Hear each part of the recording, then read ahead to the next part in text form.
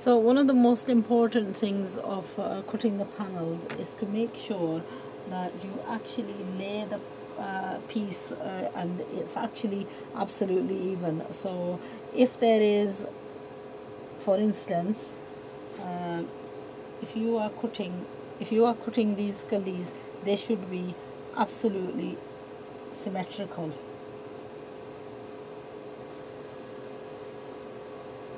So what you have on this side is what you should have on that side. And that's the only way uh, the fall of the gullies will come out absolutely right. So and it's quite difficult to do you know that's probably unless you're cutting with an electric you know like a digital cutter you would find it extremely extremely hard to actually cut absolutely precisely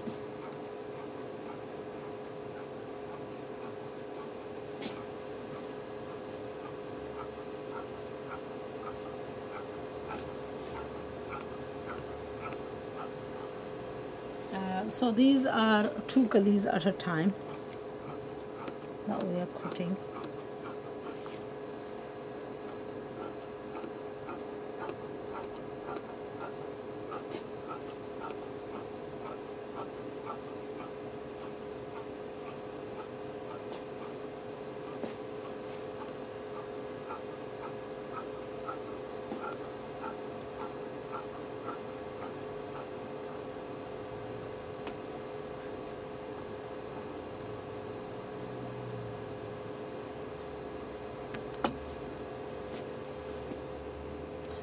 and once you've cut the initial two you need to just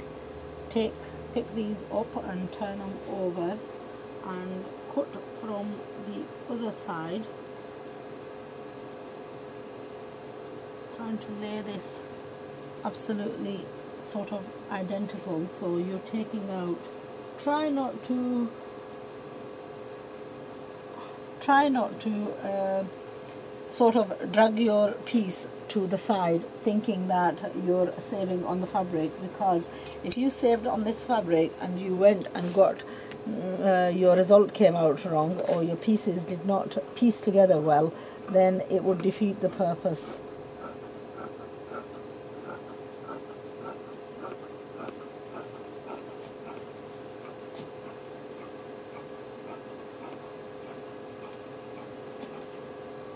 Now let me tell you that uh, making something like this, we have had numerous, numerous requests to make these, uh, but the sad fact is that uh, if you're going to get this sewn, then my advice would be, if you're going to get it sewn from somebody else, then my advice would be to actually just go and buy a ready-made. And uh, the reason for that is if you're going to pay someone to stitch this for you, one they are not going to be as experienced and they will mess it up. And secondly secondly it doesn't make it economically viable uh, to get it stitched by a third person or a second person. Uh, dresses like these are only something that true love goes into and uh, they're only really you know I, I mean we have a problem here where actually I I have a double job. I mean, I sketch for, um, I sketch to teach, and uh, I mean this this particular dress, I've only taken it on as a challenge. If I was doing this for a customer, um, let me assure you that it's very very difficult to find the time to actually put this much effort into somebody else's. Um, a garment so the only reason why this is worth it for me is because I'm killing two birds with one stone I'm doing a tutorial uh, and I'm also a person who likes to punish myself and take the punish, take the challenges as well. Mm, but if you, if somebody had requested you to sew this, then the amount of time that this takes to make, uh, it doesn't make it economically viable to sew it for someone. But if you're doing it for someone, uh, for a loved one, then you know what, time isn't a problem then, uh, and you do it out of pure, pure love. So that's why uh, my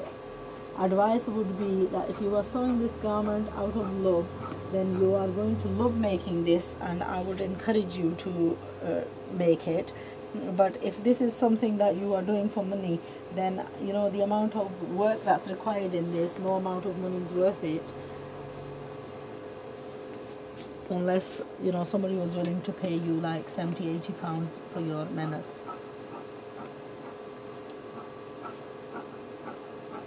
uh, generally these garments are made on slave labor I think. Because third world countries you know and I think if you were doing it as a piece rate then it's worth a uh, while and you know it's it's okay and it's economically viable okay so so far we've only cut a fraction of the kalia. Um, I've cut the kalia slightly marginally wider than uh, you know what I've been cutting in the past. Um, I will cut now there was five meters of fabric so I would reckon that the fabric itself is going to be enough because obviously it's going to be trimmed as well so now slipping